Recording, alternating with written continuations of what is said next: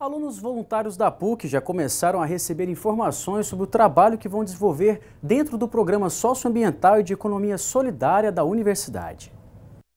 O curso é voltado para os alunos voluntários que vão atuar neste semestre no programa socioambiental e de economia solidária ou PROSA, ligado à Pró-Reitoria de Extensão.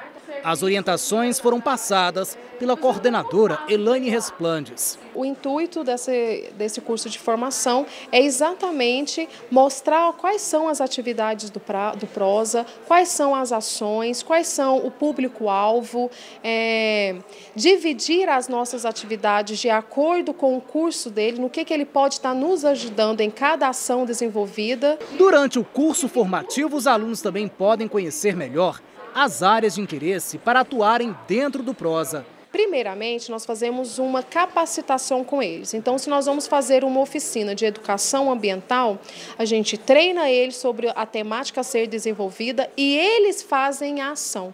Então, na verdade, se a gente não tiver o voluntário, o Prosa não tem como atuar.